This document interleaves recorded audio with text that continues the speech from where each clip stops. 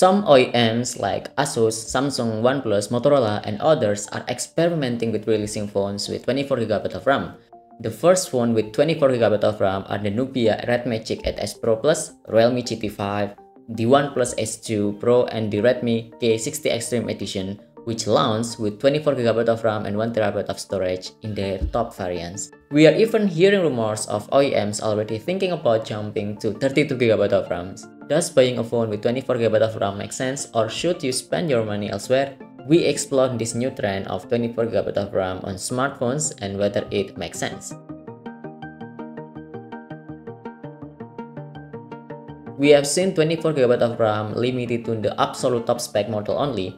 This phone release have also been focused on performance and gaming, so the most obvious use will be gaming. However, we don't directly benefit from this much RAM in current smartphone gaming scenarios, as there are other CPU, heat, and power consumption bottlenecks that will reach before you can we can max out the RAM usage on the phone. Even the best Android games of today will not be able to take advantage of 24GB of RAM. All this extra RAM helps keep more of our apps open in the background. Even when we are playing heavy games with so much RAM, we can visibly return to your uh, to, to our other tasks after your gaming session. AI The most logical use case for 24GB of RAM is AI.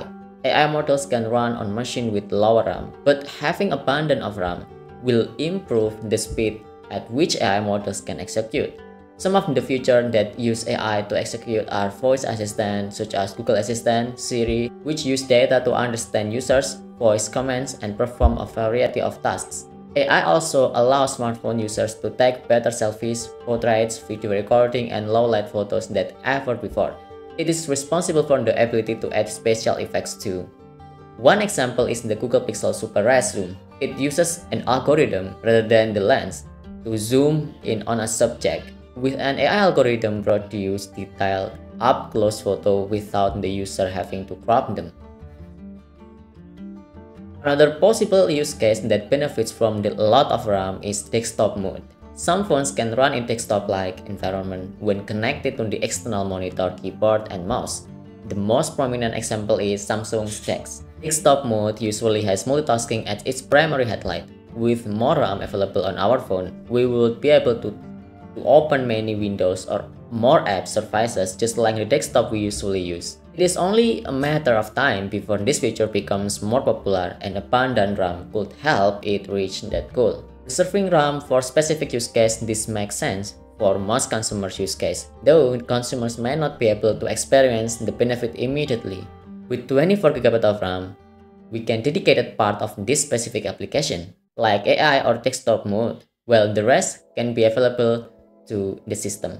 If we choose message on WhatsApp and browse through social media apps, take an edit photo, and play games occasionally, the Android smartphone with 8GB of RAM is adequate for us. If you play a lot of games and want all of them to be running in the background, choosing a higher variant with 12GB or 16GB RAM is makes sense.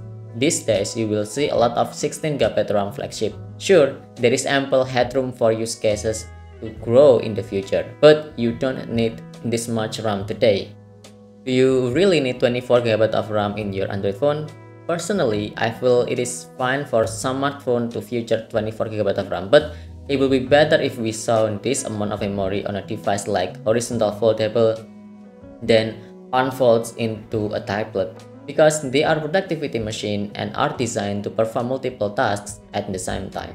On the other hand, Gaming smartphone will also benefit from having 24GB of RAM, as you can keep multiple games running in the background and switch between them. After all, you cannot multitask as efficiently or foldables, so in my opinion, having 24GB of RAM and regular slab smartphone is definitely overkill without any significant benefit. So here's in the video. Thank you for watching this video. Don't forget to subscribe, like, and comment, and see you in another video.